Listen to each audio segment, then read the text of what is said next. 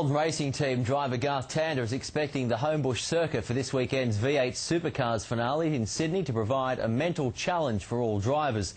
Tander won the first ever race on the track last year, and while teams will have more knowledge of the circuit's second year round, that might not mean it'll be any easier.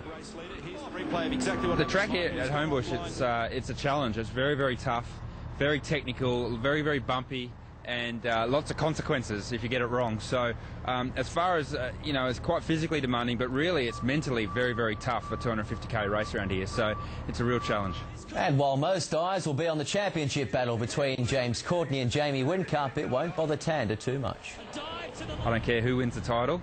I certainly would prefer that it's uh, the, the, number one is on a Holden next year. So uh, we'll have to wait and see what happens. Sydney 500 weekend begins with practice sessions on Friday.